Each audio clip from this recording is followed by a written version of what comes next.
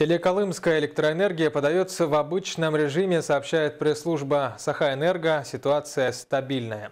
Напомню, что из-за аномально теплой погоды в Нижнеколымском районе не могли открыть зимники и возникла проблема с завозом дизельного топлива.